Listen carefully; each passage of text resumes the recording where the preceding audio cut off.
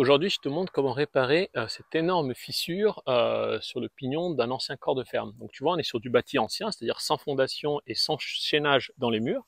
Et comme souvent dans ce genre de cas, en fait, on a des murs qui ont tendance à bomber, à déverser, on dit.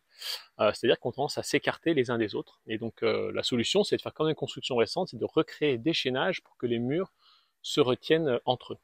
Ici, on se retrouve à l'intérieur du bâtiment. Donc, tu vois, on retrouve notre fissure euh, de l'extérieur.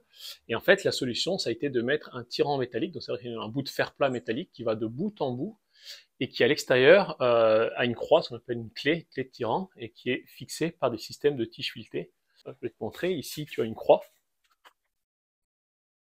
Et une deuxième croix qui est ici, une croix de tirant, une clé de tirant, euh, avec la tige filetée, comme je disais, qui va venir tirer de chaque côté pour rattraper l'écartement du mur. Dans ce genre de cas, le fait de mettre des agrafes ne suffit généralement pas puisque ça a tendance à reporter le problème un peu à côté.